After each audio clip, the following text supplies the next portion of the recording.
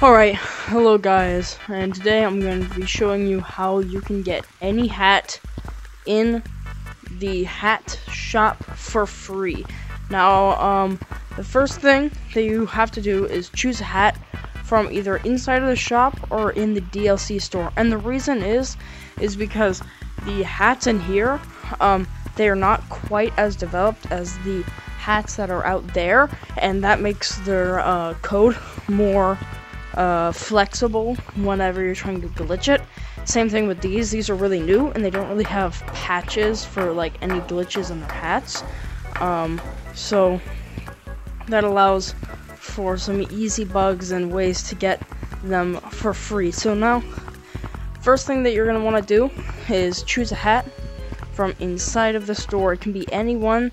I'm gonna choose this pink hat and this and then just to show you that these do work I will try I will try out this one. Now what you need to do is you need to go right over here and you need to try them all on alright? Um, you can try them all on individually or all at the same time depending on which ones um, depending on if they go together or not. And then what you're gonna want to do is the ones that you want. So let's say I want this. I wear it I turn it on in the dressing room and normally it goes away whenever you go out like that but just wait watch.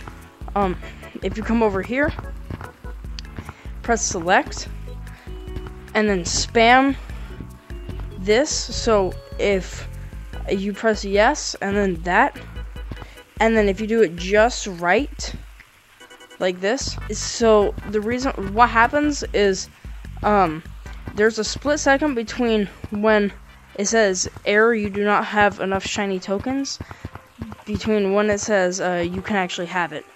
So um like if I were to go boom. Oh yeah see? It didn't cost me any shinies.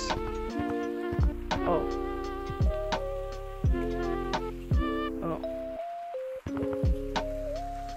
Oh. Um well if you have no shinies left this does work um, yeah, it, it does work. Uh, no, it doesn't work.